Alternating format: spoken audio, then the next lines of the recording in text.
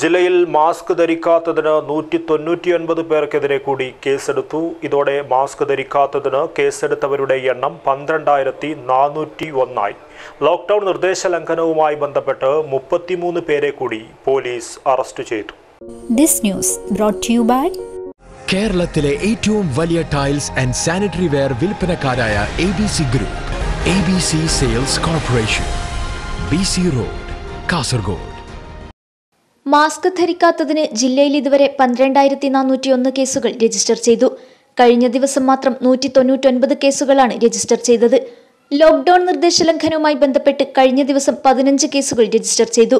കുമ്പള സ്റ്റേഷനിൽ മൂന്നും മേൽപ്പറമ്പ നീലേശ്വരം ചന്തേര എന്നീ സ്റ്റേഷനുകളിൽ രണ്ടു വീതവും കാസർഗോഡ് ആദൂർ അമ്പലത്തറ ഹോസ്ദുർഗ് വെള്ളരിക്കുണ്ട് ചിറ്റാരിക്കൽ എന്നീ സ്റ്റേഷനുകളിൽ ഓരോ കേസും വീതമാണ് രജിസ്റ്റർ ചെയ്തത്.